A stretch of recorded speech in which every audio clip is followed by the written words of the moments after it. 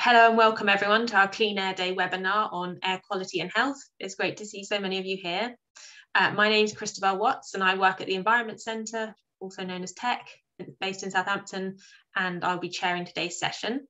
Uh, we're also joined by some of our air quality expert speakers, uh, Professor Sir Stephen Holgate and Hazel Agombar, and a little bit later, hot off another webinar, Dr. Malcolm White will be joining us. Um, I'll tell you a bit about, more about each of them before their presentations. So the timings are with welcome and introductions. Um, Professor Holgate will speak about air pollution and health.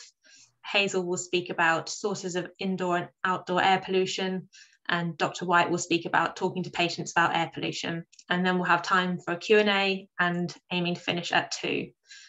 As you may have heard when you join the session, it's being recorded and will be shared afterwards for those who couldn't make it or want to rewatch it. Um, please use the Q&A for any questions for the speakers and presentations. I'll keep an eye on them throughout the session and raise them in the Q&A session at the end. And please use the chat to share if you want who you are, where you're from or where you work and what brings you to the webinar today. So if anyone has any questions or any trouble hearing me, um, but if not, I'm going to get started. Um, our first speaker is Professor Holgate, who is the UK Research and Innovation Clean Air Champion, uh, Special Advisor to the Royal College of Physicians on Air Quality, and a Medical Research Council Clinical Professor of Immunopharmacology at the Faculty of Medicine at the University of Southampton. He will be speaking about the link between air pollution and health, diseases affected by air pollution, including the effects on children and maternal exposure, and current air pollution targets and levels. So hopefully, Stephen, you can share your screen and begin when you're ready. Yes, thank you. Thank you very much. Um, I'm just going to put my screen up. Uh, I think that's all right. And we'll get started. Well, good afternoon, everybody. And uh, thank you very much indeed for inviting me, uh, Christabel, to join this uh, webinar today. Clean Air Day, of course. Uh, and I think for most of people in the United Kingdom, they're having quite a lot of sunshine. Uh, and I'm, I'm pretty sure we're going to have an air pollution episode today. So uh, it's probably quite timely we're having this discussion. Um, so as you heard, my interest really is, uh, is on the health effects of air pollution and to see whether we can really start beginning to get our air quality improved, both outdoors and indoors. And we're going to hear from our second speaker a little more about all of that. But I'm going to concentrate on the health aspects. And we all, of course, are very clear now that there are multiple chemicals that get released into the atmosphere that are affecting human health. Um, a lot of these are emitted from anthropogenic or human activity, of which combustion is probably the most important and relevant one. And it's not just combustion related to the internal combustion engine and vehicles, but it's combustion of any form, whether it's related to forest fires or burning wood in our homes, or whether it's combustion related to industrial processes. The pollutants that we're really concerned about now, more than anything, are the small particles, and they're shown on this slide uh, to give you an idea of their size relative to a human hair or fine beach sand. And you can see, looking at the blue circles, that the PM10, that is the uh, um, particles that are 10 micrometers or less in, in mass median diameter, um, really are much smaller than a human hair. But the ones that we're particularly concerned about now go even smaller than that, the so-called PM2.5, and they're shown as the red circles. And believe it or not, there are particles even smaller than that, uh, so-called ultrafine or nanoparticles, and they're shown in the bottom right-hand side of this picture, uh, very small particles at 0.1 micrometer uh, in mass median diameter. These particles, of course, are not pure chemicals in their own right. They're a mixture of chemicals. They often contain a carbon core, as you can see in the top right-hand corner of this slide. And then adhering to this core are a variety of chemical substances, metals, various uh, organic chemicals from the combustion process, as well as some biologics, uh, such as pollen fragments bacteria and viruses, which all adhere to the surface of these uh, particles. So they really are, are, a bit like a Trojan horse that they are able to carry chemicals uh, into the human body when they're inhaled. Now, the sources, which we'll be hearing more about in a few minutes, uh, are variable. Obviously, road transport of one form or another, whether it's us using our cars or motorcycles, or whether it's the transport of materials around the country, uh, is a major uh, contributor. But don't forget, we have ships and trains, which also contribute, as well as a whole variety of other uh, sources of materials that contribute to the air pollution and indeed contribute to the constituents of the so-called PM2.5.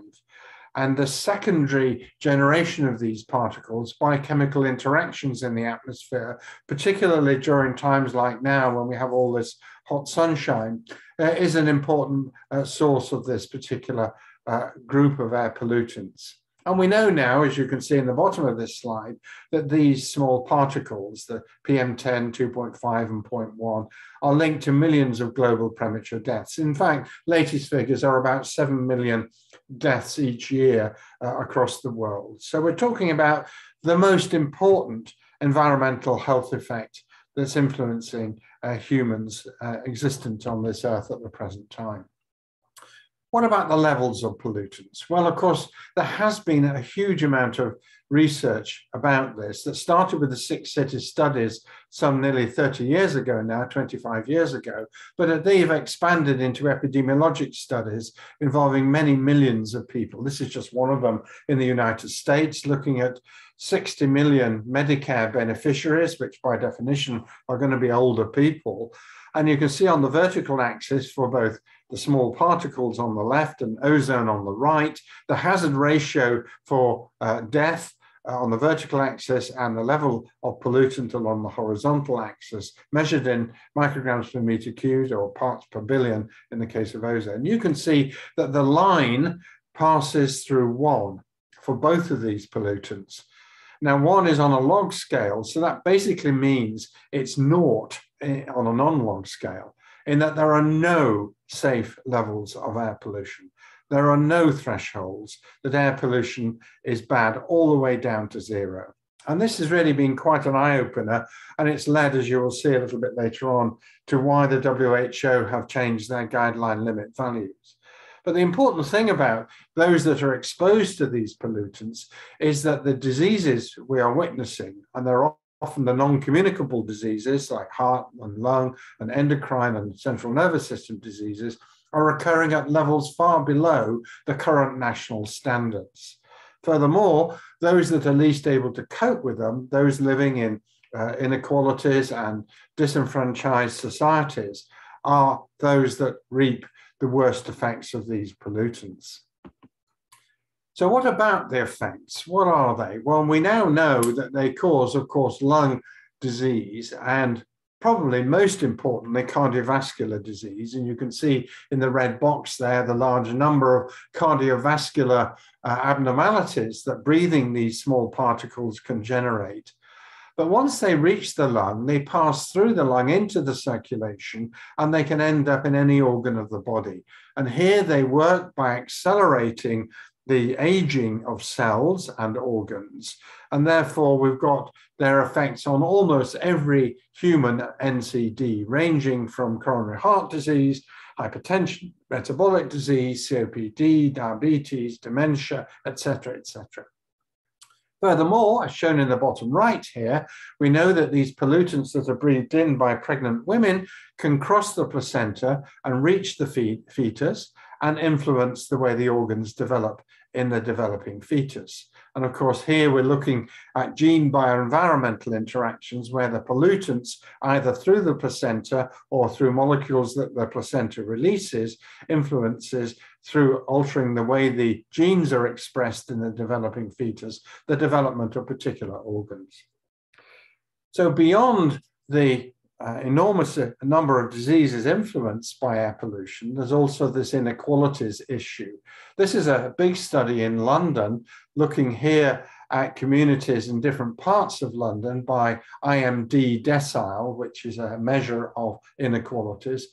And you can see if we're looking at air pollution here, on the left for NO2, one of the gaseous pollutants, on the right PM2.5, that those most exposed to the pollutants are those on the, uh, the least deprived parts of our community. And this is just one city in London. It's going to happen in all of our cities and indeed has been shown across the world. So again, it just emphasizes that those least able to cope are those most exposed. And the final point about the medical side of all of this is that, yes, we are exposed from the beginning of life, from conception till the time we die. But just like tobacco smoking or uh, eating carbohydrates in excess, these effects are cumulative over time. In other words, they're affecting people across the entire life course having different disease manifestations at different ages. And the, some of the diseases are listed, as you can see in this slide, that is produced by Public Health England. But it's children in particular, of course, that we're really concerned about because they are our future generation. And of course, children are exposed, as I mentioned, uh, in the uterus, but also once they're born, they are increasingly exposed to pollutants in the outdoor air because they're obviously closer to the source of the pollutants, to fresh pollutants being emitted by vehicles, as you can see in the top right-hand side, and in a thermograph picture, the bottom right-hand side of this slide. And you can see that children are in fact the ones who are particularly falling into this susceptibility group. And the reason why it's important in children is that they are still growing, they're still developing, not only in the uterus, which of course is where the organs are forming, but also once they reach uh, the outside world. And this diagram on the right hand side shows how air pollution can influence the grow, growth of, in this case, the lung, and it can interfere, interfere with the development of the most peripheral bronchial tubes, the tubes right down here uh, in the lower part of the lung, uh, around about the 20th to the 23rd generation, which continue to develop uh, until a child reaches about 13 years of age. But you can also see on the left-hand side multiple other effects of air pollution on children, which I won't go through because you can read what's in the boxes. Uh, and of course, the respiratory aspects and diseases like asthma and allergy are particularly prominent here. But also the seeds for cardiovascular disease are being sown during this early uh, exposure of children to air pollutants.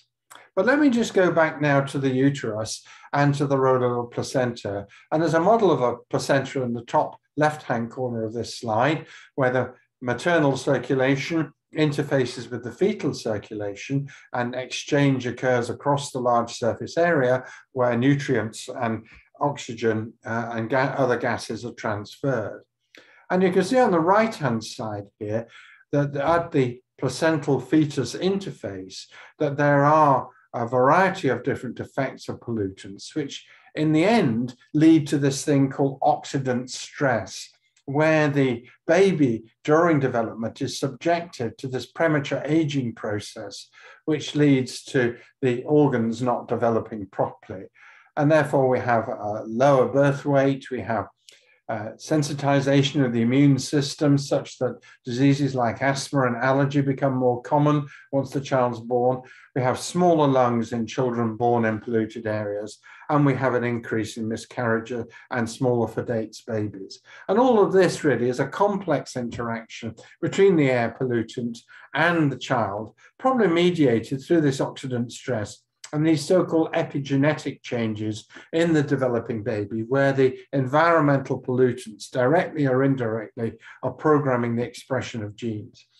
And so it's these accumulated data, the epidemiology, all of the medical science that's come forward in the last decade that has led the WHO to revise their guideline values. And here you can see the 2005 guideline values and the new September the 21st September 2021 guideline values for PM2.5, PM10, and NO2. And you can see that for uh, PM2.5, the guideline value has dropped from 10 to 5 micrograms per meter cubed, and for nitrogen dioxide, which is the dominant pollutant from diesel vehicles, from 40 to 10.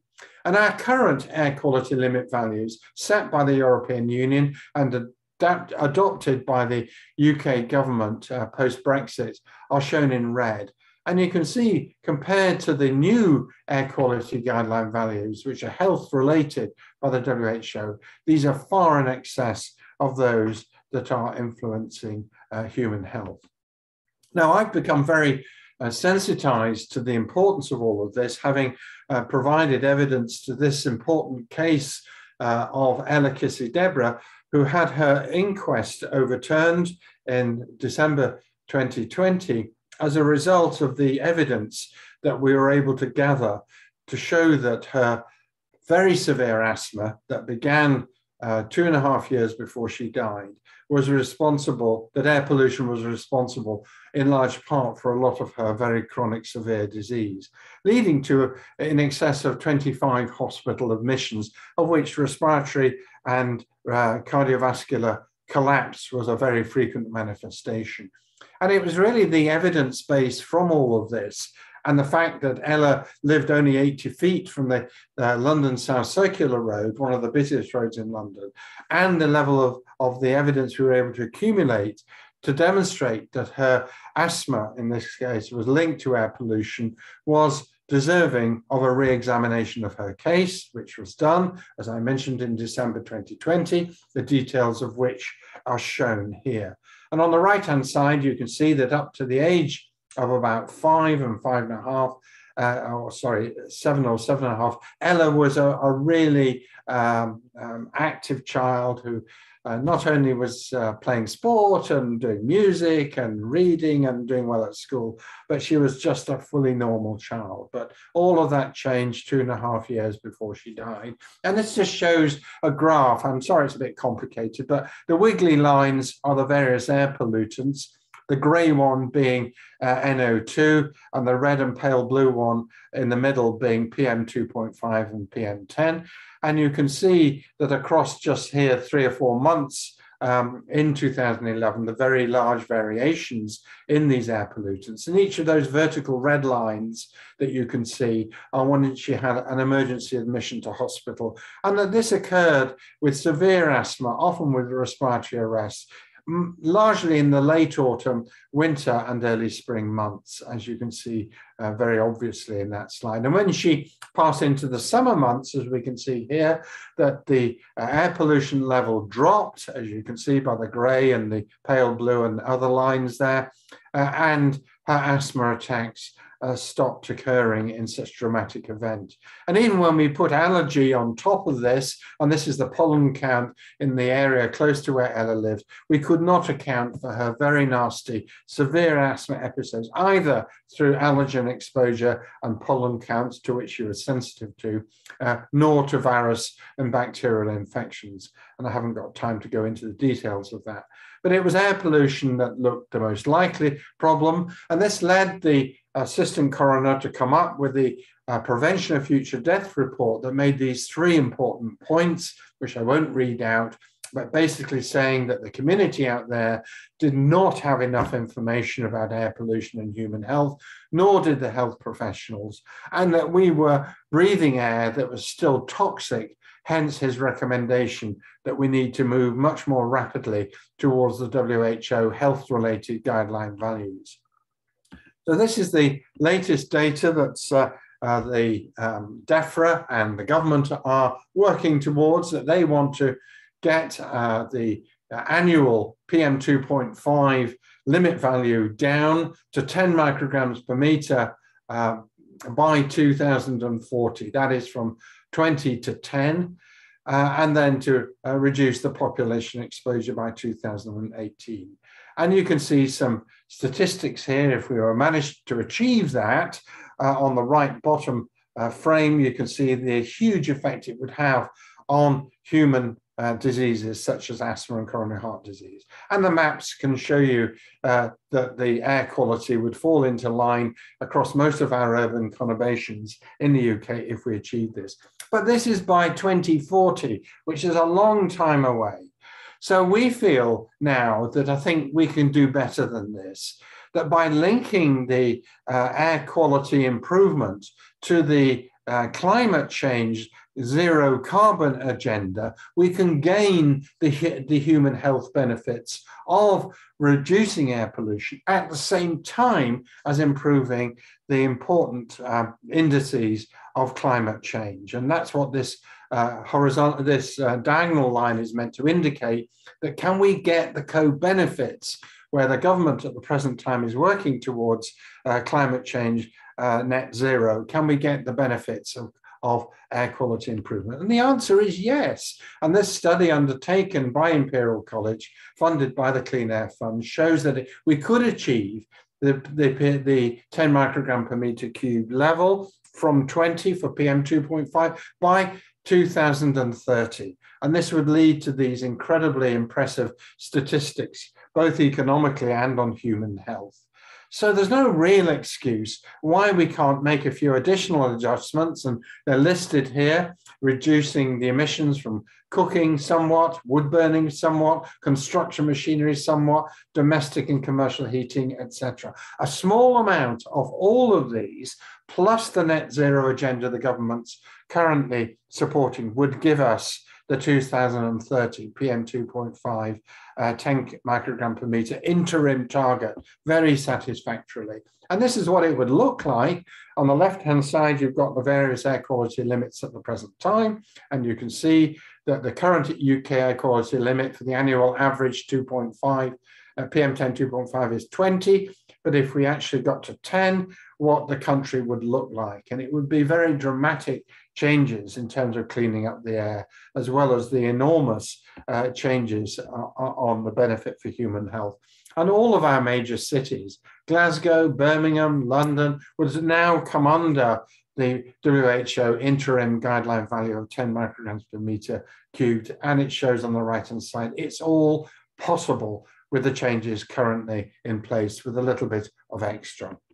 So I'll end by saying that, look, people will change their behavior if they see this behavior as being easy, rewarding, empowering, and normal. And I think as health professionals and other people working in this area, it is our responsibility to really show that this is achievable. And what better day to say that than on Clean Air Day 2022? Thank you very much indeed.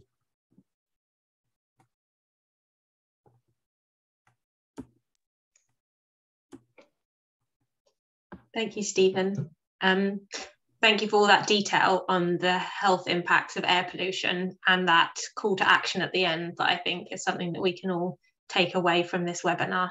Um, I've, I've noticed a question popping up and just to remind everyone, if you have any questions for presenters um, or based on content of the presentations, please do put that in the Q&A um, box and we will um, address that at the end in the Q&A section. And now we're going to move over to Hazel. Um, and Hazel Gombar is that Senior Engagement Officer here at the Environment Centre um, charity, and she's a member of Mums for Lungs. Uh, she will be speaking about sources of indoor and outdoor air pollution and how to avoid them, as well as some of the advice and support services we offer as a charity to local residents. Good afternoon, everybody. It's really good to be here on Clean Air Day. Um, air is arguably our most precious shared resource. Of course, it's vital to life, and getting some fresh air is well known for being beneficial to our health. And yet, at the same time, the very air that we breathe can be polluted and can be a source of ill health, as Professor Holgate has clearly explained. In this short presentation, I'll be covering the main sources of air pollution and examining what we can do to reduce our exposure to it and what we can do to help our patients, clients, friends and family and the public in general to reduce their exposure to. So there are three main types of air pollution. There are gases such as nitrogen dioxide, sulfur dioxide and ozone, and perhaps the most well-known and immediately dangerous air pollutant, carbon monoxide, which can kill within a few hours. Um, particulate matter, as Professor Holgate has referred to, are tiny specks of dirt, dust and liquid droplets, which come in various shapes and sizes. The smaller they are, the more damaging to health, since they are so easily inhaled. And a report by the Institute of Health Metrics states that particulate air pollution poses a greater health risk for the world as a whole than alcohol, physical inactivity, or high salt diets. Then there are chemicals such as volatile organic compounds, or VOCs as they're known, which are also a significant form of air pollution. And examples include formaldehyde, acetone, and benzene. And the low level effects of VOCs include throat and eye irritation and headaches and dizziness, while long-term exposure to VOCs can lead to an increased risk of cancer. And finally, we have mold. Mold growth contains harmful biological contaminants that are bad for health when inhaled, and mold is especially harmful to respiratory health.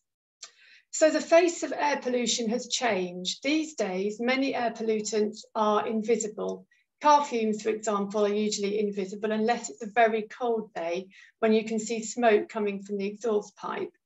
Modern engine combustion means that particulate matter is much smaller than the thick black industrial smoke from the past. And because it is smaller, it's more harmful when inhaled because it passes through our body's defense mechanisms like nose hair, for example, and can lodge deep within our bodies. And because it's largely invisible, air pollution can be a difficult topic to engage people with. And despite the harm that it causes, it's often forgotten or ignored and scientists describe air pollution as the invisible killer. So what are the main sources of air pollution? They tend to be classified as outdoor or indoor air pollution. So outdoor, one of the main sources is of course road transport, the exhaust fumes from cars, lorries and vans, but also tyres are a significant source of air pollution as tiny particulates are shed by tyres as they wear on the road. And a recent study has revealed that almost 2,000 times more particulate pollution is produced by tyre wear than is pumped out of the exhaust of modern cars. And this is because the size and weight of modern cars has increased quite dramatically. Another major source is household burning, so smoke from log burners, open fires and bonfires, etc. And then energy generation and industry, farming, and other transport sources such as aviation and shipping the main sources of outdoor air pollution. The average person spends 90% of their time indoors, and in fact, indoor air pollution can be more harmful than outdoor. Household and office and school indoor air pollution isn't always easy to spot, and its effects on health are widely underestimated. It's linked to a litany of health issues and is also linked to absenteeism and reduced cognitive performance. Many daily activities produce air pollution, cooking, smoking and burning solid fuels such as wood, coal and charcoal. Log burners and open fires not only cause outdoor air pollution, but also indoor. A log burner releases lots of particulates into a room when the door is open for refueling. Domestic appliances such as boilers can emit carbon monoxide and gas ovens and hobs produce nitrogen dioxide. New furniture and furnishings emit volatile organic compounds, particularly when they're new, and building materials such as fittings and floorings can also emit VOCs, as do household and personal care products such as paints and varnishes, air fresheners, deodorants and perfumes, aerosols, cleaning products, candles, and nail varnish. And then there are biological sources. I've already referred to mold, but there's also dust mites, pet hair, and pollen. And then there are naturally occurring pollutants such as radon, which is a radioactive gas that seeps from the rocks and soils and granite areas. Radon is found everywhere to some degree and levels vary throughout the country. I've mentioned the pollution from burning solid fuels a couple of times so far, and here at tEC we run a wood burning engagement programme which is commissioned by four local authorities, Southampton City Council, Winchester City Council, Eastleigh Borough District Council and New Forest District Council. And we recently made a short animation about the health impacts of wood smoke pollution, which I'd like to share with you now. It's a good introduction to the next section, how to reduce your exposure to air pollution.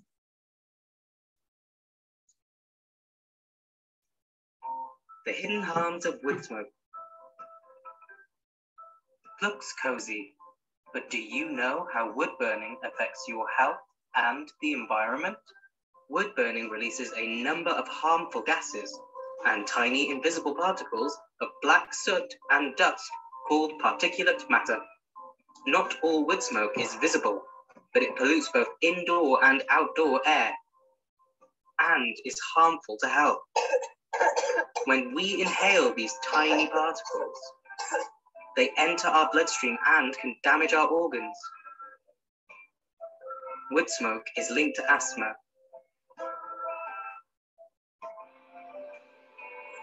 Stroke and dementia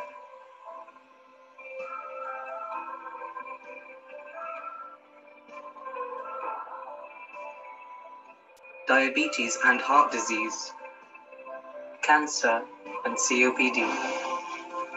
Wood smoke directly harms the health of your family and community.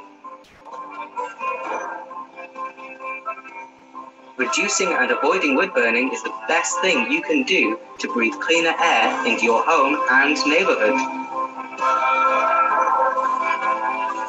Find out more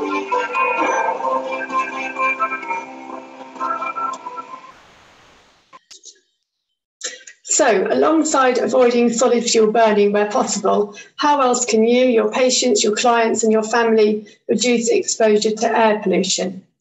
Well, in terms of outdoors, being the most polluted place to be on the road is often inside a vehicle, as the polluted air from the exhaust of the vehicles in front gets sucked into the car and stays trapped there.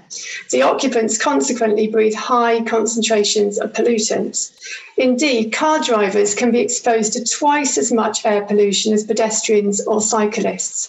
As a consequence, scientists have estimated that commuters using motorised transport lose up to one year in life expectancy in comparison to cyclists. If you have to drive, then it's a good idea to use the recycled air function in your car to try and reduce the amount of external air entering the vehicle. Idling your engine, of course, causes unnecessary pollution, which builds up both inside the vehicle and on the street. So the advice is to switch off your engine whenever it's safe to do so. Obviously, every time we drive, we create pollution. So you're helping to improve air quality whenever you leave the car at home, if you have one, that is.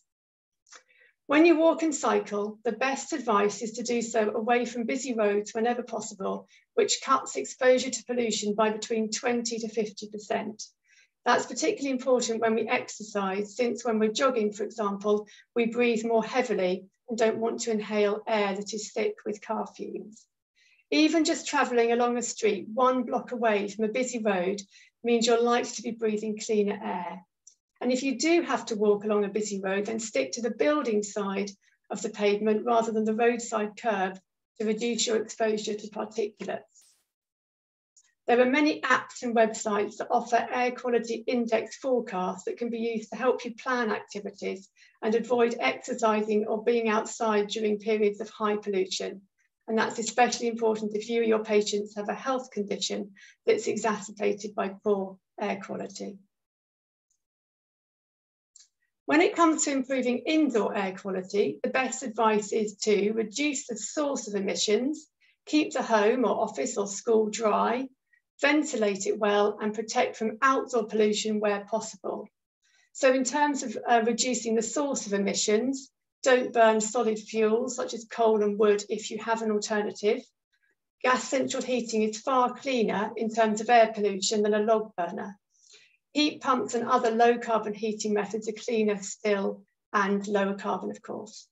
Any form of combustion, even candles and incense sticks, will pollute the air, so it's good to avoid using those regularly if you wish to improve indoor air quality. Use fragrance-free cleaning products and avoid using too much of them. And you can choose paints that have a low VOC content. Some products, products are now labeled low volatile, volatile organic compounds. Heating and cooking with gas is much cleaner than burning coal or wood, but using gas does release tiny particles of nitrogen dioxide and carbon monoxide into the air, and cooking itself can generate particulates. So if a gas oven or hob is being used, it's important to ventilate the room by using an extraction fan and or opening windows to stop pollution building up. The same is true when cleaning and, cleaning and bathing, to avoid breathing in cleaning products and to allow excess moisture to escape. And this prevents condensation building up, which could lead to mold growth. Opening trickle vents can help increase ventilation too. If patients and clients are worried about pollution levels around their home, they can protect indoor quality to a certain extent by thinking about which windows they open and try to open those that are furthest away from the road and close windows during peak times when outdoor air pollution is likely to be at its worst. Ensure your boiler is well, well maintained so that it burns fuel cleanly, which will reduce the amount of pollution being emitted around the property from the boiler flue and will save money too. It should be serviced regularly by a gas safe engineer and for added peace of mind, you can fit a CO alarm at home, since carbon monoxide, which can leak from faulty boilers, is a poisonous gas with no smell or taste. And if anyone in the household smokes, they can be signposted to an NHS stop smoking service or a pharmacist. Secondhand smoking, which can linger on clothing and furnishing, contains traces of 4,000 chemicals, of which 200 are known poisons, such as formaldehyde. So a large part of our work here at tEC is supporting people to improve the energy efficiency of their property to ensure that they have a warm home. And this is important for indoor air quality since a warm home reduces the risk of damp and mold. We also help clients to upgrade their heating systems where possible. More energy efficient heating systems reduce the demand for energy generation, which in turn reduces air pollution air quality and energy efficiency are two sides of the same coin. So in the last minute, I'll just briefly explain about our affordable warmth projects.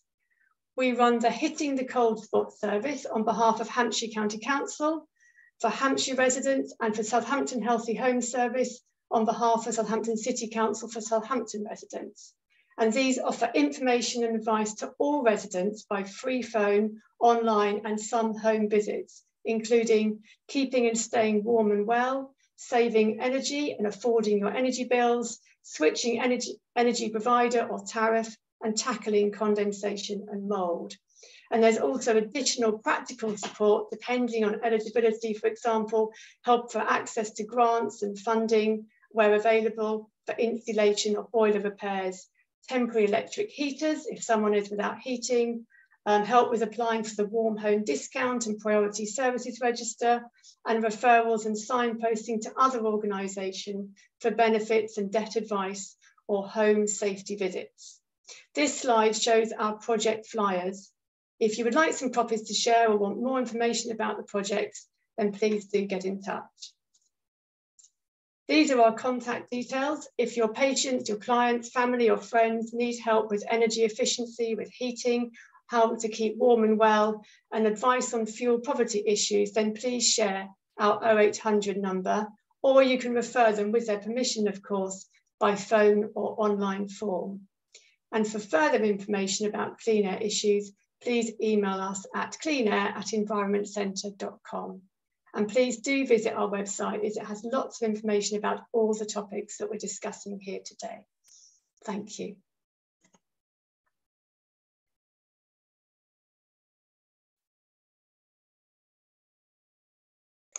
Thank you, Hazel, for some really practical tips on what we can do to reduce those sources of air pollution and reduce our exposure to them, um, and um, for sharing our contact details. So we've got a feedback survey that's going to come up at the end of the webinar when you close it.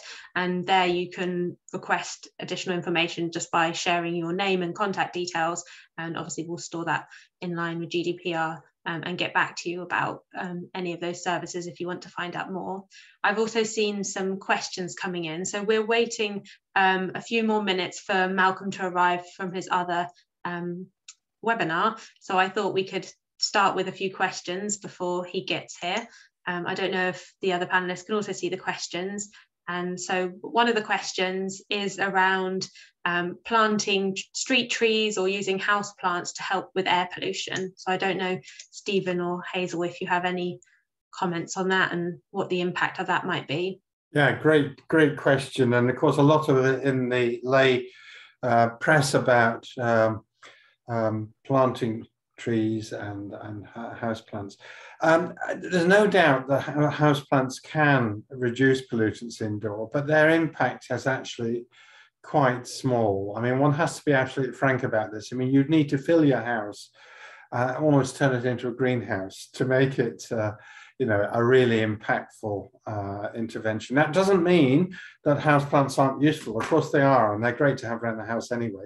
And, and don't forget, they do give out oxygen, which is obviously quite a useful thing to have in your house at the same time. As for tree planting, well, yes, they do.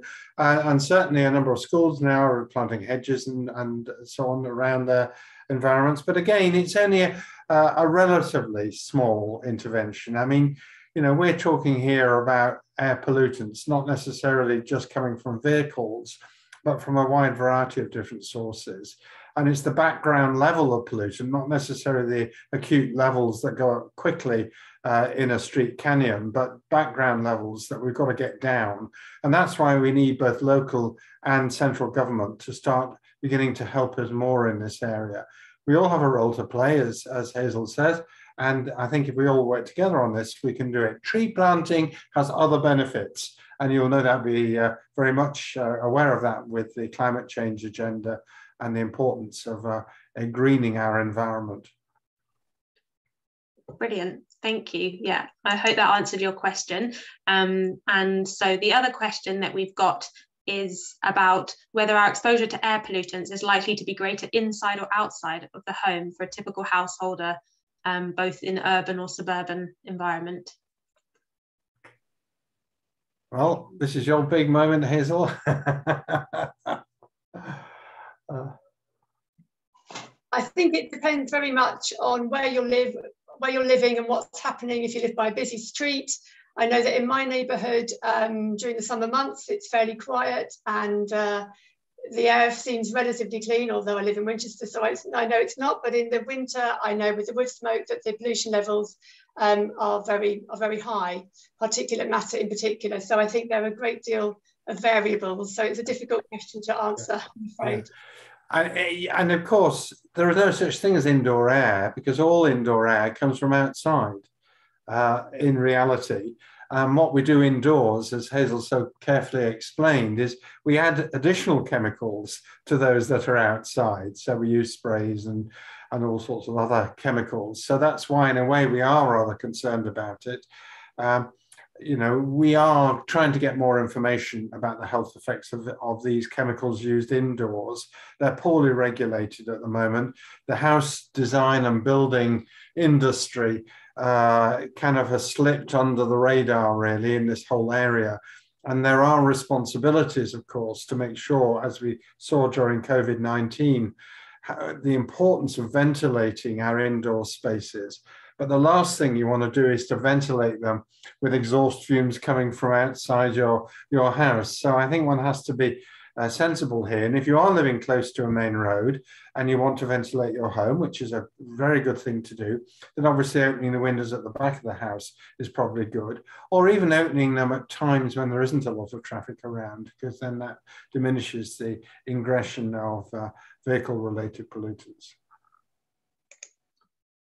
Brilliant. Thank you, both of you. Um, just related to what you were saying, Stephen, about that um, cleaning products and things being regulated and labelled appropriately. We've got a question about um, sort of whose responsibility that might be and and how they could be labelled appropriately for um, indoor air pollution.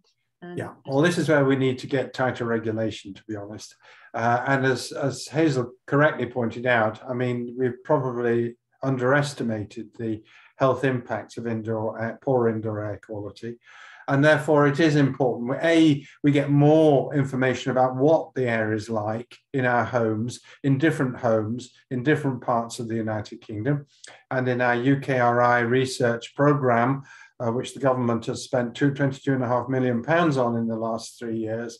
There's a lot of new science being done to try and understand more about the indoor air space. So watch watch this area. We are going to find new information. And I think when we realize what's in the air we're breathing indoors, um, we're going to obviously going to want to talk to the um, you know construction industry, the builders, but more importantly to the government about regulation and labeling of products to make sure that our young children and others are not exposed to increased chemicals beyond those that we're currently exposed to by breathing the outdoor air anyway.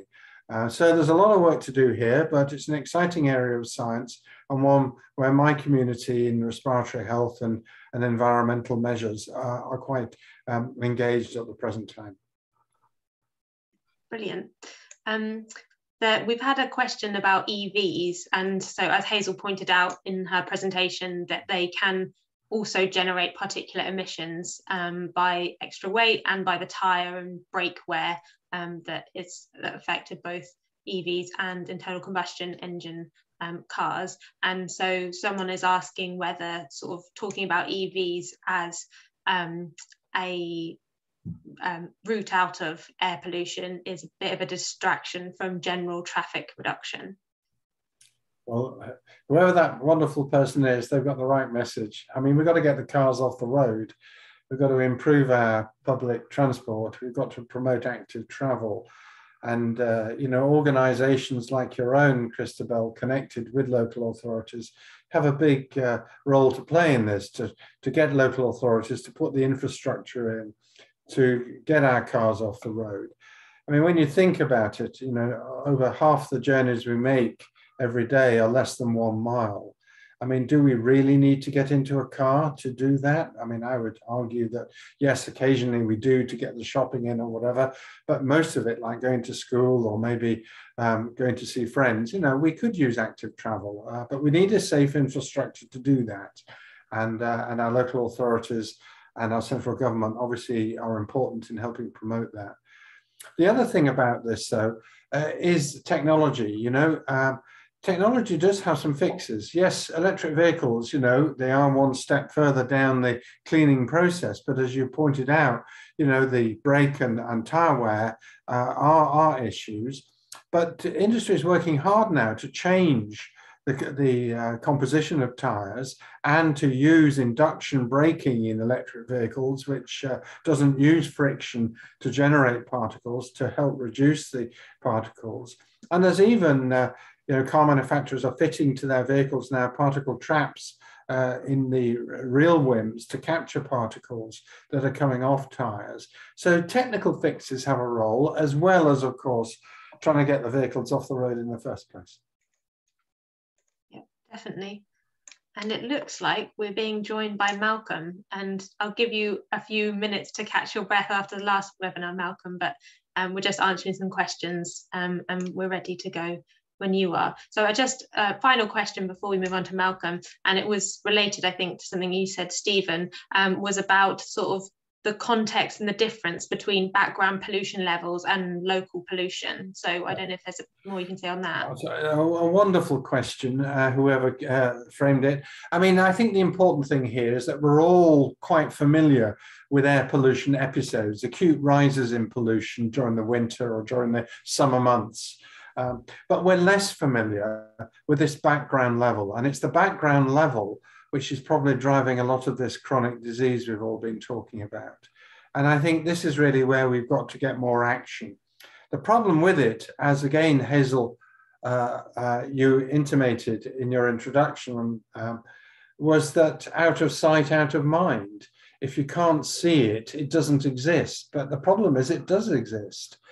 So we've got to work now across multiple stakeholders to get the background level of air pollution down. And that's why those World Health Organization limit values, which I put up on that table, uh, reducing those by a quarter um, over the next 20 years is really, really important.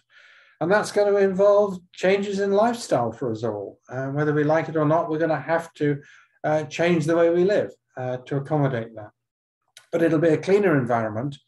And in the end, it'll be a nicer environment to live in than our rather dirty post-industrial environment that we're currently living in now. Thank you, Stephen. Um, so I've seen a few more questions coming in and we'll save them for the Q&A after Malcolm is finished. But if I can now introduce um, Malcolm. Our third and final speaker today is Dr. Malcolm White, who's a medical doctor and clean air specialist working with Global Action Plan, which is the clean air charity and organizer of Clean Air Day today. Um, he's been working on two projects with Global Action Plan, teaching health professionals in primary care about the dangers of air pollution, as well as how to pass on this learning to patients. and so really topical um, for the talk today. He'll summarise this teaching, then reflect on the successes and challenges participants have noted in their feedback. And Malcolm, hopefully you should be able to share your slides. Yep, I'll jump on with that. Thanks very much, uh, Christabel. Right, so got my slides here, which I'm going to share, and then go to the slideshow elements. Mm -hmm.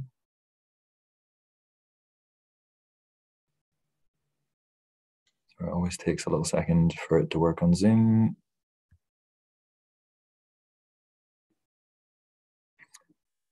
So sorry, just while that's loading up anyway, as I got that very kind introduction, my name is uh, Dr. Malcolm White. I've uh, been mostly a hospital doctor in my career for about 10 years. And then in the last year, I've sort of sidestepped into um, working with Global Action Plan because I wanted to do work which was more environmentally focused. And that that's essentially why I've been doing this. Um, so as again was uh, suggested in that introduction, we've been doing a couple of projects which have been looking at air pollution, speaking to primary care practitioners in this in this project, and speaking to them about how they can speak to their patients about air pollution, which is you know so important. And I just have to apologise for not being able to join sooner, but I was running my own webinar, which I just finished in Scotland, so it's been a busy day for all of us. Um, so yeah, this uh, map that I put together was essentially just um, 40 odd GPs across all of England who were participating. So it really provided a really wide geographical spread as well as quite a wide demographic spread in terms of the patient populations which were being represented by their GPs.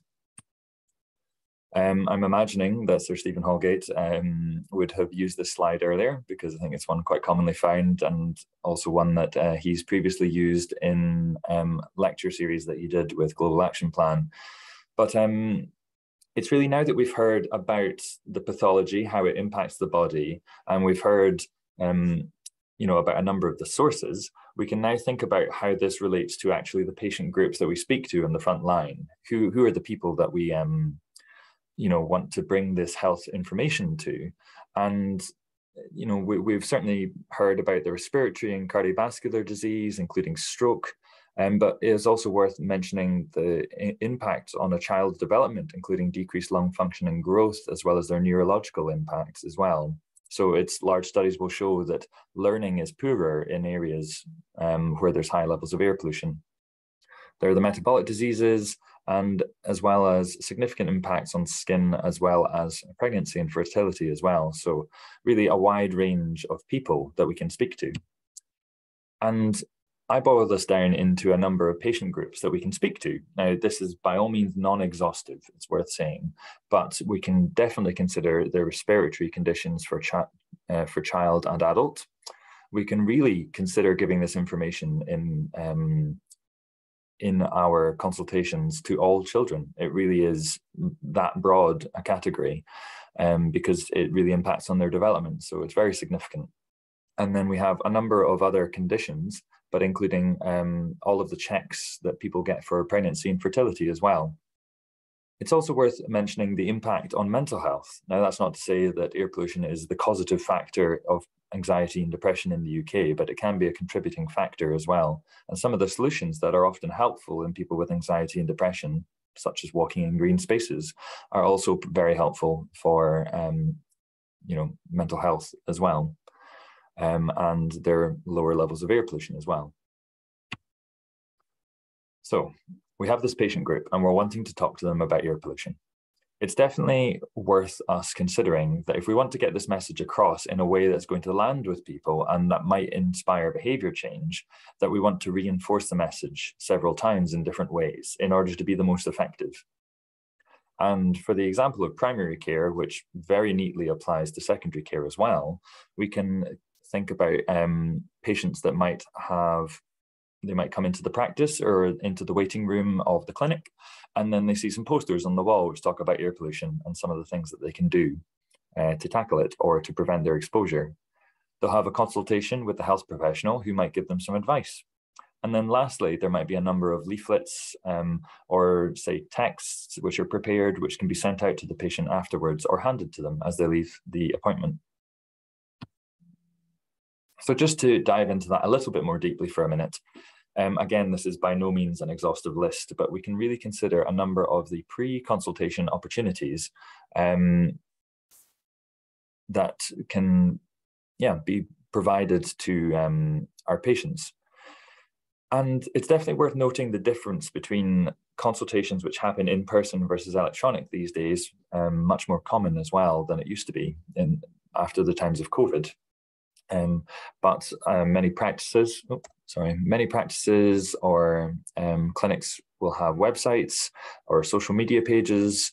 Um, often when people phone up for an appointment, there'll be a queue system, so there could be messaging delivered there and say they're coming in for prescriptions. And if uh, I've already mentioned the waiting rooms, which could include, say, electronic notice boards. And if you have a patient coming newly to an area, say for a GP surgery, um, then you can actually inform them as part of the process what the air pollution is like in their area. So that would be a really interesting and useful way to give them that information. So all things before the, before the consultation happens during the consultation, and this is certainly the bread and butter for many people in terms of, um, you know, why we're in medicine, when we can give this information across, and when we can potentially have the most impact is when we're, you know, speaking face to face or electronically face to face with our patients. So ideally, we would want to integrate elements of this advice into our history. Um, so the patient classically might present to you and say, I'm breathless, doctor. Um, now, air pollution isn't the only concern, of course, at that time. You're going to be wanting to do plenty of investigations and really dive down into the history to understand what is causing this condition.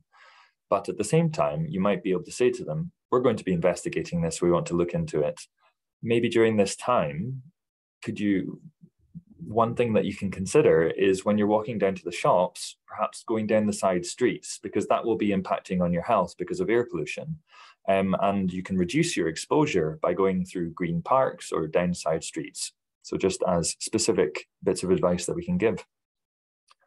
Speaking of that, in the management plan, you know, the bits of advice which are followed most effectively would be specific achievable goals. And I'll be demonstrating that through a number of leaflets that we um, have produced at Global Action Plan, and I'll run through them br briefly as well. When we're giving lifestyle advice to patients, which is generally to improve their health, of course. It might be to improve their metabolic profile or to improve their weight um, because of the impacts that it's having on their health. Um, we might offer to socially prescribe them to a walking group, or we might be just advising them to join um, running clubs or walking groups or anything like that, or even just walk themselves. And in all of those cases, you could really link up and say the co benefit of having more like better air quality is by going through green spaces and not running down the main streets in order to get more miles in, so to speak. Fine, and then closing statements. Um, you know that this can be an opportunity to perhaps give a leaflet or to actually signpost the patients towards another resource, such as a website. Um, and we have uh, Global Action Plan. We have the Clean Air Hub, which I'll speak about a bit more in a minute. Once the consultation is complete, um, there are still further opportunities um, in order to give across some of this messaging to your patients. And I've sort of mentioned link workers or social prescribing. So you might have a walking group which is associated with your practice. Now you could speak to the leader of that walking group, make sure that they're familiar with the concepts of air pollution and how to avoid it by taking their groups through parks and everything like that um, or you could give them leaflets to hand out. So, you know, onboarding everyone into your clean air team, so to speak. If you've got pharmacies which are associated with your practice or in your hospital, clinic, or anything like that, then certainly having posters in those areas as well and speaking to your pharmacists to actually, again, onboard them, get them part of your team so that you can have that um, collaborative approach to delivering this important healthcare messaging.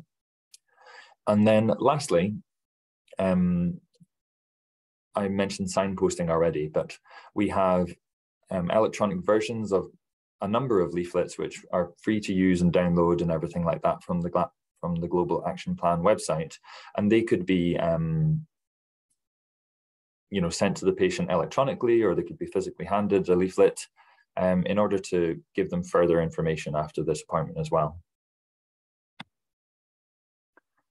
So just a few specialist consultations, which I think are specifically worth mentioning as opportunities to give um, ear pollution messaging. They might be um, appointments where you have a little bit more time with a patient, or they might be, say, nurse-led in the community, such as an annual asthma review um, or a diabetes review. Sometimes you have a, a little bit more time to give health and lifestyle advice during those appointments. There's also the fairly common uh, COPD reviews for a patient just quickly out of hospital and you want to make sure that they stay out of hospital and keep them well. Um, and then, of course, all of the midwife and pregnancy checks, which happen during a pregnancy, or the eight week baby checks, and all of the um, postnatal checks which go on, they're all opportunities to sort of talk about improving um, air quality in the home or avoiding air pollution um, outside. And then a couple of what I would call opportunistic ones is people coming in with, say, immunizations or for some blood taking, phlebotomy, then you might not be having much of a conversation with those people about their wider health concerns, but you can probably speak to them about air pollution for 10 seconds or so. So definitely all good opportunities um, for how we can bring air pollution messaging to our patients. So I'll just go through um, a number of leaflets that we have, and I won't dwell on them for too long, but I think that they link up quite well with what you've been hearing earlier in this talk in terms of some of the actual active things that patients can do to avoid air pollution and to reduce their contributions. These are all two-sided A5 leaflets, um, which you could print larger, I suppose, if you wanted, but that, that's the, the aim of size that they're targeted as. And um, this one is adult focused and it talks about a lot of the health impacts of air pollution. It does reassure people that there are some things that they can do to help and it directs them towards Clean Air Hub, which, as I said, is a patient focused um, section of the Global Action Plan website where they can get information about air pollution that you might not have time to give them all. And then on the second side, it talks about the things that people can do to have an impact on the air that you and your family breathe. And so that's split into outdoor or ambient air pollution. And then on the second half here, it talks about things that people can do indoors. You might have some patients who understandably aren't able to engage that much in outdoor air pollution stuff. And that's kind of in, in terms of bringing them along and a no blame culture, you'd be able to empathize with them when they say, my school that I take my kids to is four miles from my house and I don't have time to do that in the morning with anything other than a car, then you're like, you know, there are some things you can do, but maybe not right now. Um, but there are other things that they could do, like parking the car further away from the school and walking the last distance. So you don't have that really, really high buildup of air pollutants right outside the school. One thing to consider. Um, and a number of things that this same person would be able to do are things around the home. So particularly things like reducing their use of scented cleaning products or strong cleaning products, avoiding plug-in fragrances, and then if they're decorating at home using products that which don't have VOC compounds in them. Um, asking people not to smoke is an obvious one as well, but then reducing home burning as much as possible. Um, and lastly, although very importantly, ventilating as much as possible if you're like cooking or cleaning and maybe even closing your windows if you live right beside a main road. So the second type of leaflet here, very similar, so I won't go through in nearly as much detail, but it's more child focused and it talks about their development as much as it does about some of the conditions which can be caused or worsened by air pollution. The second type of leaflet that we have is um, a checklist type um, leaflet. And I think that that aligns somewhat with the um, personalized asthma plan that many patients and children often will go through. It gives them a sense of ownership of the condition and perhaps a sense of control that they're actually engaging with their health condition in order to control it better. Um, so this one, it has many of the same um, ideas in terms of things that people can do, but then it also has that tick box element on the other side so that people can feel like they're gaining that sense of power and control. So this one is somewhat asthma focused and it's more pediatric. And then the other one is more general in terms of a number of adult health conditions. Um, and then it has, again, very similar tick box structure on the other side. So I mentioned the Clean Air Hub, just to sort of highlight it there. And there's there's um, the address for you to consider directing your patients towards. It was um, DEFRA funded as well, so government funded. And I think they actually would recommend people go to this website rather than like a branch of the DEFRA website. So it's, uh, it's a good resource for patients. Has a number of areas, including eh, background information in terms of what your pollution is and how it impacts your health. It has um, you know, it, it tells patients some of the things that they can do to reduce their contributions and exposures. And they can also look at a calculator um, to think about how much air, produce, air pollution that they produce themselves. Another section of the website that I think is particularly useful is called the Clean Air Knowledge Hub. Um, but the address is up there at the top as well. And this this website, I think we might rejig the imagery on it sometime soon, but the actual content is really quite excellent. It has a number of training videos, including uh, the lecture from Sir Stephen Holgate that he did with GAP, uh, another from Professor Jonathan Grigg, and then actually one that myself and a colleague recorded recently based off of the teaching that we were delivering for our primary healthcare um, colleagues. It also has many types of leaflets and posters and other things like that, which are all free to download and you can print them out in order to hang them up in your clinic or hand them out to your patients. One website I think it's quite useful to highlight because I'm one piece of feedback that I was having from our GPs in terms of something that's quite useful and quite quick to do with a patient is like, give me your postcode, ding, ding, ding, put it in, and it tells you what the level of air pollution is as, as quickly as they um, as most recent as possible. It's you know it's very up to date um, as a website. It's very simple, and I like I like the the premise of it because it's an easy way to engage with your patients. And when I did it myself yesterday, it showed moderate, and I think that's probably because of the reasonably high levels, um, the high pressure at the moment. And I live in Glasgow myself, and um, the air pollution levels are relatively bad for the UK. Um, but Scotland in general, the air pollution levels are not super high. So it really is a sort of a focal point in that regard. Um, but yeah. So what I would sort of consider my top line messages for patients in ter terms of what we would hope that you're able to deliver to them is that air pollution seriously impacts your health. And it's not just the health of vulnerable people or people with pre-existing health conditions or just children or anything. It really does impact across uh, the lifespan from birth to death and even before birth because of um, the impact on pregnancy. But also, um, yeah, a lot of people will just say air pollution doesn't bother me, you know, it has, it has no impact. But um, as it has been in intimated already, it really um, increases your risk long term of having a number of health conditions. There are things that the individual can do to reduce their amount of air pollution contributions, but there are also things, importantly, that uh, the individual and the patients can do to reduce their exposure to air pollution. So last couple of slides from me.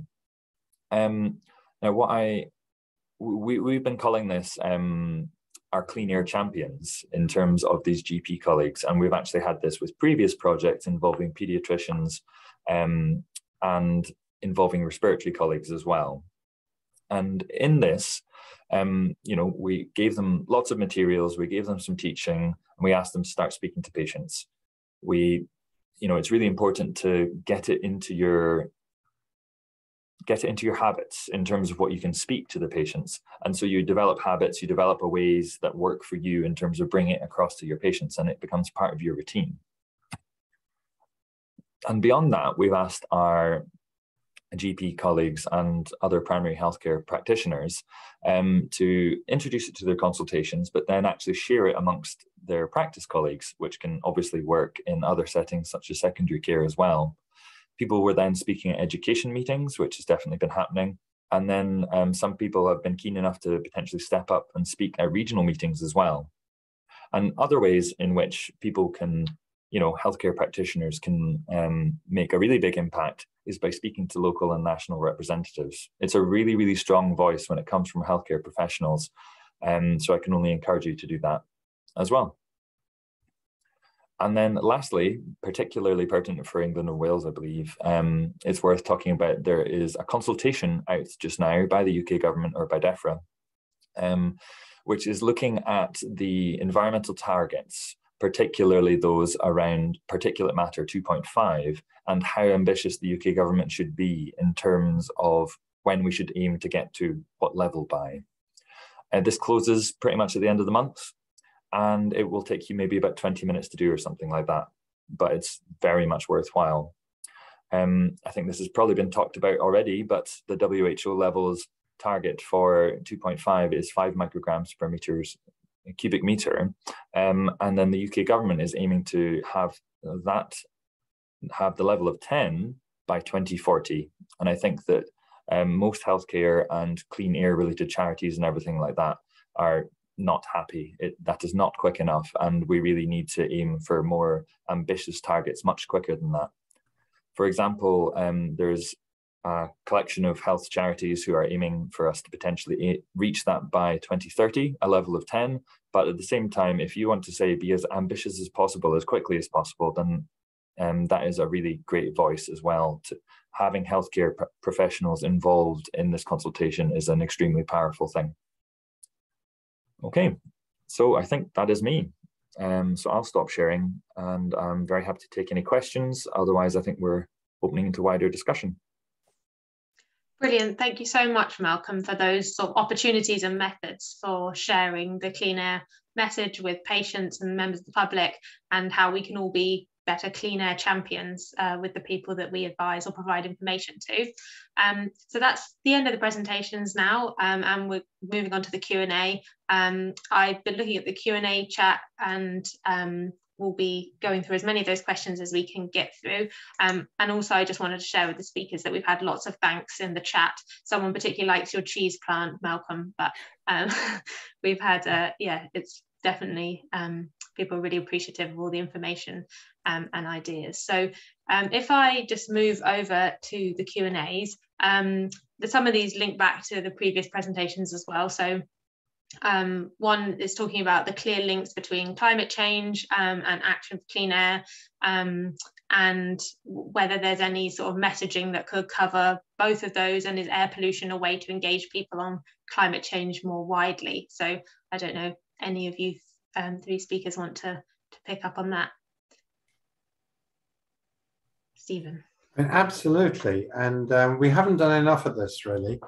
when you think about it, the targets for climate change uh, have already been agreed at COP26 and some of the uh, um, activities for achieving uh, net zero, as it's called, uh, are already being rolled out across the UK. And what's important here is that industry, as well as the broader community, you know, are engaging with this. Uh, but what hasn't happened uh, is its connection with improving air quality at the same time. And the reasons for that is rather strange because it looks as if the climate change community and all the science behind all of that has come out of one area whereas the um, air pollution stuff is in another compartment. But they're beginning to connect. And there are four air pollutants in particular that uh, contribute to climate change, many orders of magnitude greater than carbon dioxide. And uh, the ones in particular are carbon dioxide, NO2, uh, the secondary formation of ozone, which we're getting in this hot weather, and as Hazel mentioned, uh, the vol volatile organic chemicals, including methane, which of course comes out of agriculture um, as well. And I, I, think the messaging for climate change, although it's sometimes given as rather negative, actually, generally speaking, it's being put over as a positive thing now. I think the public really do understand the positive gains by greening our environment and, and making life here, uh, more pleasant for people, as well as getting CO2 down. Uh, but the, the air pollution messaging uh, is not as positive. And I, have talked to Global Action Plan and Larissa Lockwood about this. I think what we really do need is to improve the messaging around air pollution, which creates positive messages as opposed to all the things that people think about right now, which are the financial problems or the travel problems or whatever it is. And there are lots of good positive messages. So maybe uh, we need to do more work to connect these two communities. And uh, just before I came on this call uh, today, uh, I was in touch with Jo Churchill and the permanent secretary in DEFRA, um, who looks after this area, and said, look, this is the time we need to connect these two far more effectively. And of course, it aligns perfectly with Global Action Plan because that's exactly what they do. They are involved in climate change and, and, and uh, post consumerism, as well as uh, the interesting work on cleaning up the air. So there you are, Malcolm. You've got a great advert there. Yeah, thank you. I mean, I probably would have just said similar things to be honest. And um, in ter- in terms of when I joined the organization, um, I essentially asked this question and the, the the the question from the audience, and it was the the answer essentially is that air, a lot of um, the activities that you do towards air pollution will also tackle tackle things to do with climate change. And in terms of when Global Action Plan was thinking about which areas to target initially, this was a number of years ago, then air pollution is one of the things which is impacting people now and in their health, but it is also has co-benefits in terms of like the climate sustainability. So it really is win-win in that regard. Yeah, yeah, yeah, yeah, yeah. yeah. Anyway, watch the space.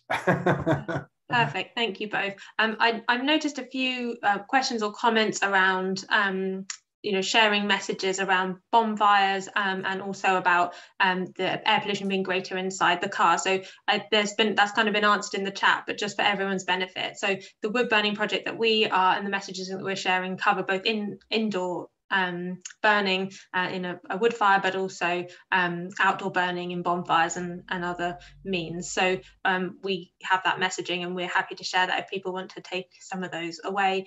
Um, and then Hazel also mentioned that Mums for Lungs have lots of great information about how to share messaging around um, the pollution being worse inside the car um, for people who might, might want to find out more about that. Um, so just to go back to the questions, um, someone um, asks about the sort of legal consequences of not meeting um, air pollution um, levels, and particularly if we were to move in the UK towards the World Health Organization levels rather than the hangover EU levels that are higher. Um, I don't know if anyone has any thoughts on that. Might be a bit outside. Go well, I just have a quick thought on it. Um, is that there are certainly organizations who are more than happy to take governments to account um, in terms of like take them to le- legally take them to account, take them to court um, if they make targets and then they don't meet them. So in some senses, that's why maybe the government is not like super keen on doing the most ambitious targets because they want to have things that they can achieve. But at the same time, things that Global Action Plan and other charities are approaching the government with is actually a plan of this is how you could do this, rather than actually just saying to them, you know, we want you to do this. Um, so having having an actual plan in place, I think, helps that along as well. Um, so yeah, I just hope that we can get for a more ambitious targets. Yeah, I do too, and we all do. Um, I think one of the things that came up in the Environment Bill and this consultation, which you kindly mentioned, um, is the, the second level, which is to reduce exposure of the population, really, um, and to set targets around exposure uh, um, reduction. Uh, and I think government's quite keen on this, which is great.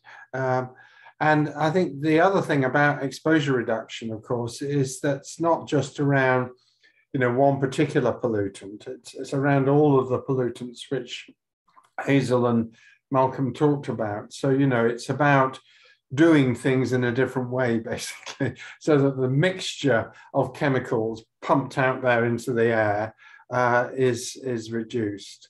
And, uh, you know, I'm particularly keen on, on the uh, reduction of exposure side.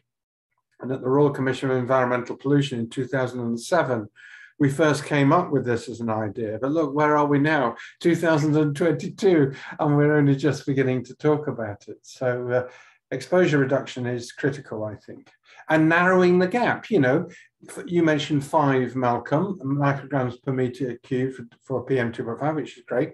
But I mean, you know, we just need to keep going down and down and down. And I think once the sort of uh, once the ball really starts to move seriously in this area, and we all hope it will, then this relentless reduction needs to continue. And we all need to sort of uh, push it as far as we can because as i said in my talk which you missed um, is that there's no safe level of air pollution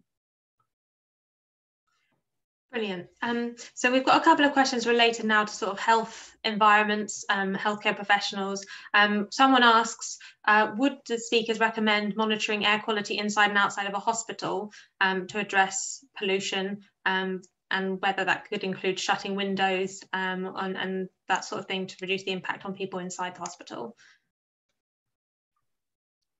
Maybe just quickly I jump on that, and I think it's worth looking at your council in terms of what they actually measure already, because I was at my other webinar, they were speaking about some level of um, monitoring which goes on outside the Queen Elizabeth University Hospital, which is the big one in in the Glasgow area, the sort of flagship.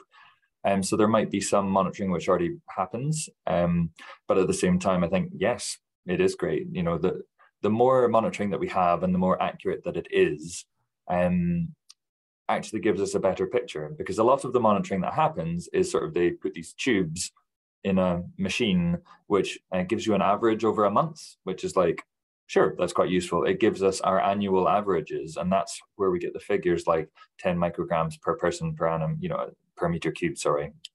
Um, but actually, what I think I would love to see is more of the use of like live monitoring, which is unfortunately more expensive, but it means that outside of school, when you've got the school run, you'll see these relatively high spikes of air pollution, which then just gradually uh, diffuse into the atmosphere around as well. So I think, yes, it, it would be great to have more monitoring.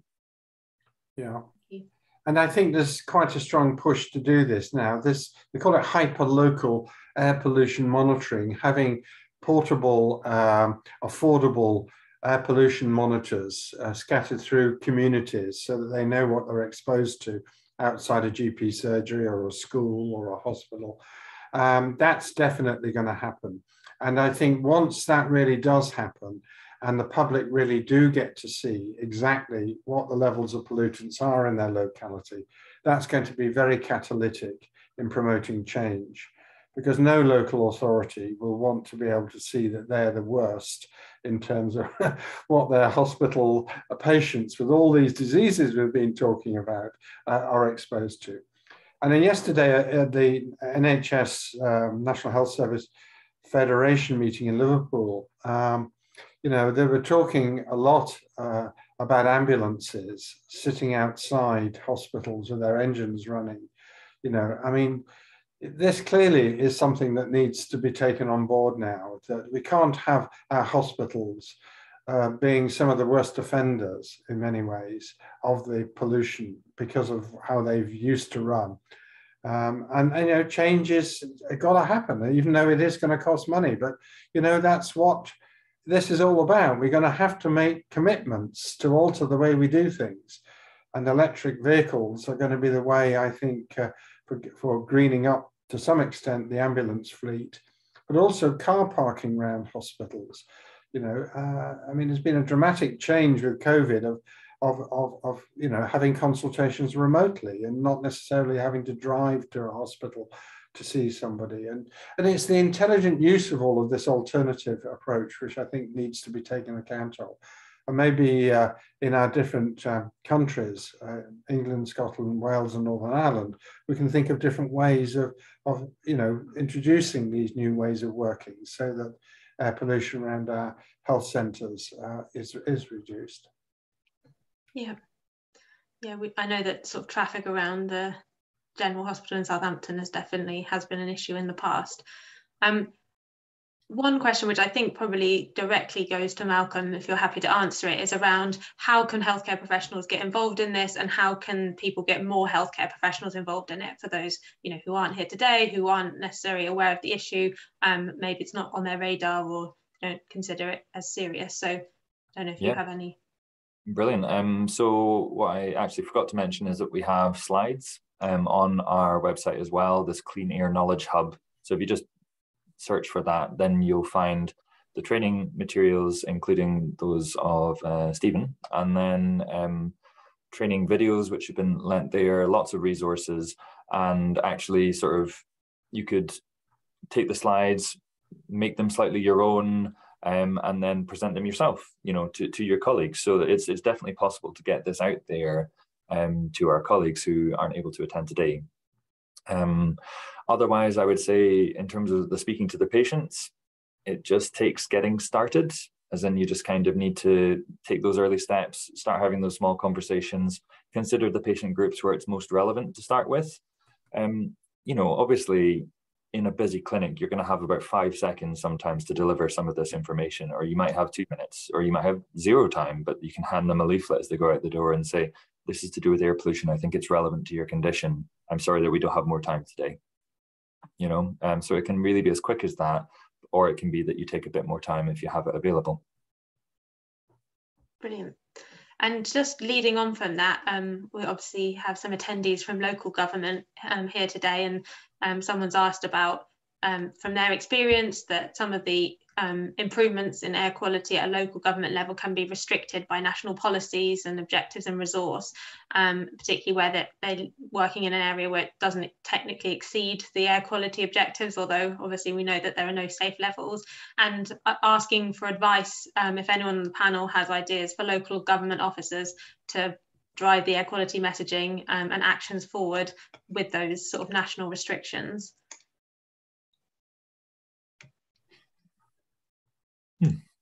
Um, I, think, yeah. I mean, a quick a quick thought would be in any of those conversations, recognizing that the monitoring is not effective enough. Um, as in, if the if you're speaking to someone and they're like, "Well, our levels are fine," and you're like, "Well, actually, we don't monitor it well enough to really truly understand it." Especially, someone made the point that they've only got like one centralized thing for this massive area that they live in then you just don't have a good enough idea. But we do know that like trunk roads, busy streets, all of these things will have levels of air pollution which are harmful to human health. No doubt about it. Yeah. it's difficult to it's difficult to argue against that, but I do appreciate that people are often thinking numerically in in these areas. Yeah, and one of the points that someone's made in the chat is about creating a dialogue between doctors um, who are experiencing it and their patients are experiencing it, and between the people in local authority, whether it's public health or um, people involved in travel and transport, um, about that kind of working together, cutting pollution, sharing information. Um, and so I think that that is, you know, something else that there's a potentially good link there between local government and um, local health services. Um, so we just have one um, final question. We're almost at the end of time um, about the um, air pollution, um, address pollution site that you shared, um, Malcolm. and so wondering where sort of the data for that has come from and how it's kind of being, you know, broken down to sort of that postcode level. I don't know if you know more about it or whether there's a good place to direct people. Yeah, I'll be honest, it was highlighted to me quite recently, um, and I've not had enough time to really dig into it. I imagine it comes from model data, but uh, so Stephen, it looks like you have an idea there. Yeah, well, that's right. Uh, there's a, a, a website, I, I, haven't got it immediately be able to put onto the uh, uh chat. Um, it's run by a guy called Humphrey, uh, who did the work with Imperial College in the environmental research group there, where they've um, got now urban street level air pollution concentrations and are able to even by by your address work out what the exposures are in uh, relatively real time. So this is a major advance. The difficulty has always been that the modeling to create this has not been um, granular enough, but it is now. And uh, and it's if you go into the web and put Humphrey, I, think you'll find it Humphrey and uh, um, postal code uh, air pollution, you'll find the website. And you can go into that website and you'll be able to see where your own address is and work it all out. Brilliant, thank you. So we're now at the end of time. So I'm at the end of the webinar. So I'm going to bring it to a close. Um, thank you so much uh, to Professor Holgate and Dr. Malcolm White and Hazel for your presentations. And thank you to everyone for your attending and your questions and um, all of your chat. Um, you know, we really appreciate you attending and all your participation. As I mentioned, there's a short survey when you leave this webinar. So when it ends or you leave it, the survey will pop up on your browser and you can provide any feedback you want on the uh, webinar and let us know if you want any of those resources or further information that have been uh, mentioned. So that's, yeah, please do pop in your name and email address if you want anything more and we'll um, get back to you about it um, and see if we can answer any of the questions that we weren't able to answer today. Um, so just seeing the chat, there's lots of um, thank yous um, coming through. So I want to pass that on um, to everyone. So yeah, thank you everyone for attending and thank you to our excellent speakers. Well, thank you to you for putting it all on. it's been very enjoyable. Yeah, thank you very much for having us. Really great. Yeah. Thanks, everybody. Enjoy the rest of Clean Air Day. Yeah, thank you very much, Hazel. Bye-bye. Bye-bye. Bye.